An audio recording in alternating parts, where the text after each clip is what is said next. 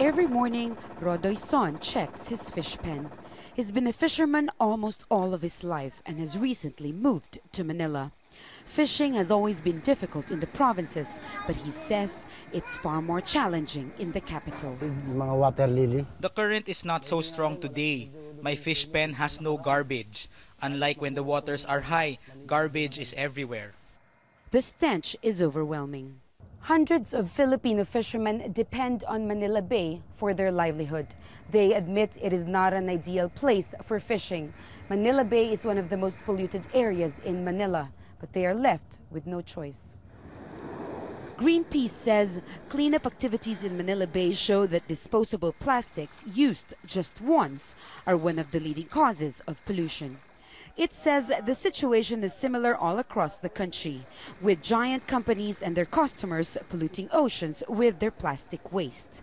In the Philippines, where the majority of people live below the poverty line, families are pushed to buy cheap goods in small quantities.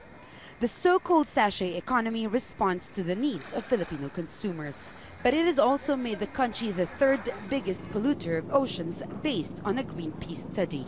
China and Indonesia rank first and second.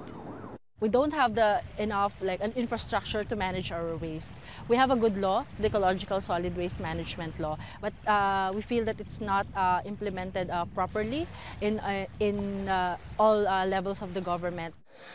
The government admits a national policy must be in place. We want that to be uh, banned, totally banned, the single-use plastic.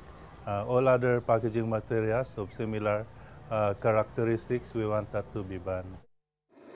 Sunsets over Manila Bay are spectacular, but the Philippine capital is gaining an unwanted reputation for its wasted potential. Jamela Alindogan, Al Jazeera, Manila.